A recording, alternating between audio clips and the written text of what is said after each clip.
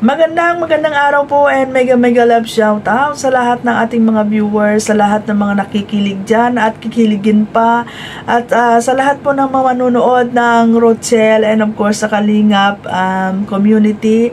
Ayan, magandang magandang araw po sa ating lahat. Ayan, and sa kay Kalingap Bal Santos Matubang, kay Kalingap Edna, kay Kalingap Rab at sa buong Kalingap partners. Ayan, magandang magandang araw po. So, ayan, no, uh, kayo ba ay uh? Kayo po ay nababagot sa araw-araw na pamumuhay ninyo, kayo ba ay stress, 'di ba? Kayo ba ay ang daming iniisip at um palagi na lang kayong nakaburangot. Ayan. So, manood po kayo ng root cell. Ito pong root cell ay isa po ito sa masasabi kong stress reliever.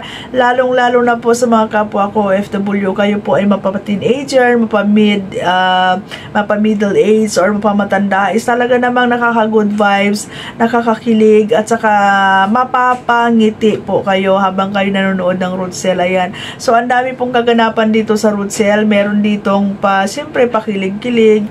Meron ditong mga positive na mga positive vibes. Meron po ditong mga, siyempre may mga lesson learned tayong makukuha. Ayan. At siyempre po talagang makapagbibigay saya at uh, maano po kayo dito. Talagang uh, masasabi kong malilibang po kayo. Ayan. So, ayan no, ang daming kaganapan dito sa Rochelle and talagang masasabi kong, oh, parang makatotohanan na talaga ito, 'di ba? Parang although na ano po ito, no? Kalingap series po ito. Kumbaga pang good vibes lang ito sabi ni Kalingap Rab. Pero talagang uh, kung kayo po ay syempre, ba?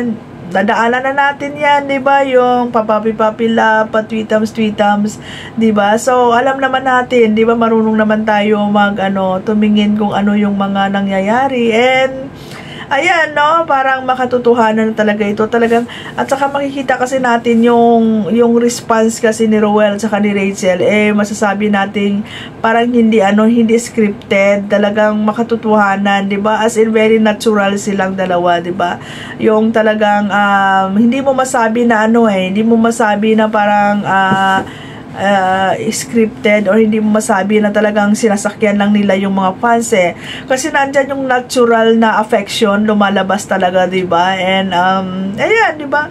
Uh, talagang nakakilig and ang dami exciting na mga ano guys, no? Excite, exciting part, no? At saka nag-expand yung kanilang uh, grupo, ayan, no? At saka ang ganda lang, no? Ang ganda lang kasi although na may mga busters, hindi naman natin maiwasan 'yan kasi siyempre syempre may mga tao talaga na ayaw.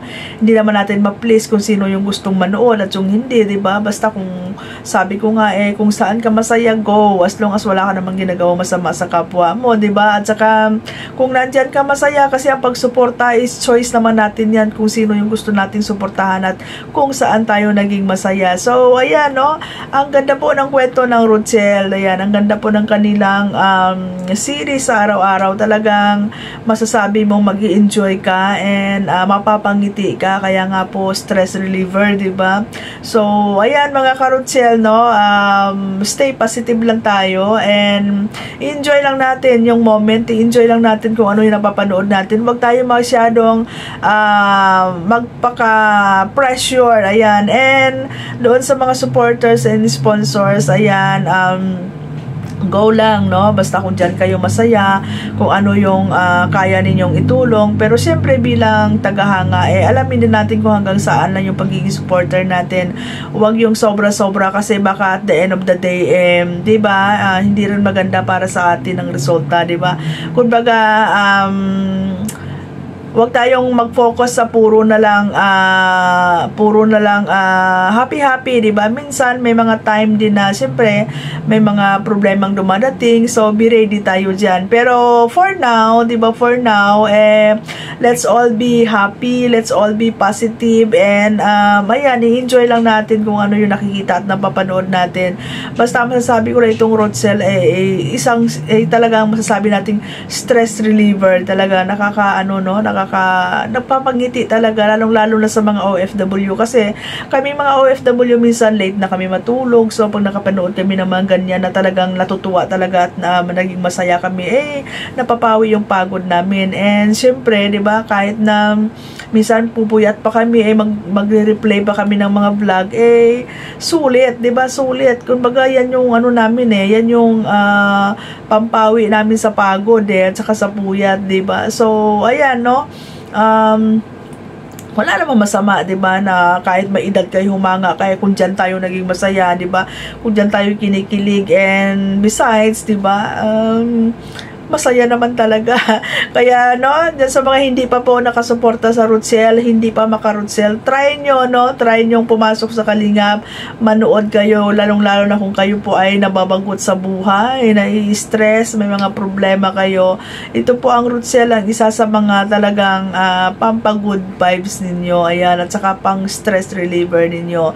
So, ayan guys, ang daming ganap sa Rootsel, ayan, panoorin nyo po, kung gusto ninyong uh, malaman kung ano yung mga sabi sabi kong talagang nakaka-enjoy at nakaka-release ng stress nyo, panoorin nyo po yung vlog ni Rachel. Ayan, Rachel Morales vlog. Ayan, manood din po kayo sa channel ni Roel.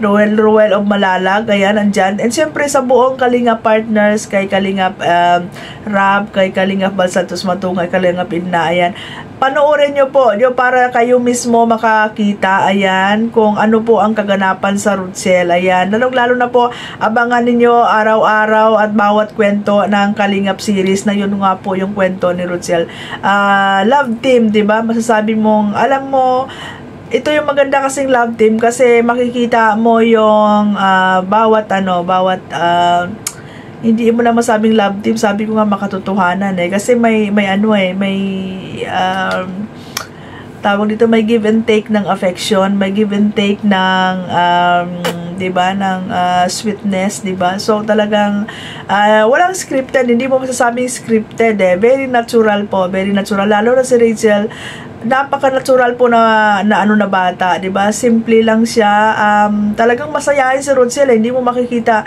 kahit noong mahirap pa yung medyo naghihirap pa sila, hindi mo makikita si Rodsel na parang uh, ano eh, positive eh. Yung aura ni Rodsel is talagang ah, nakaka-good vibes, nakaka-positibo, 'di ba? Yung bang uh, hindi ka ano eh, parang hindi mo makikita na problemado kay, 'di ba? Basta guys, no, sabi ko sa inyo, panoorin nyo, 'di ba? Punta po kayo sa lahat ng mga Kalinga partners kasi lahat po sila nagko-content din.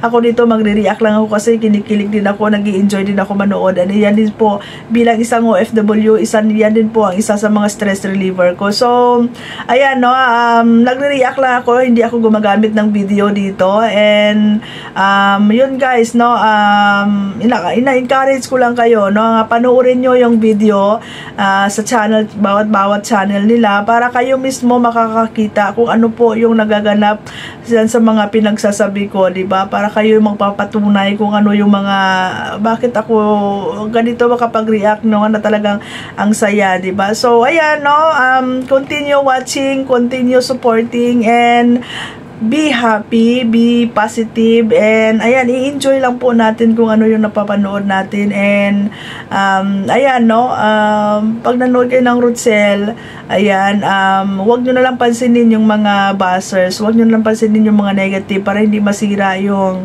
good vibes na sinasabi ko, ba diba? Natural lang yan dito sa social media, whether we like it or not, meron talagang buzzers kasi hindi natin ma-please lahat ng tao. Kahit gumawa ka ng mabuti dito, meron at meron talagang ayaw sa'yo, 'di ba?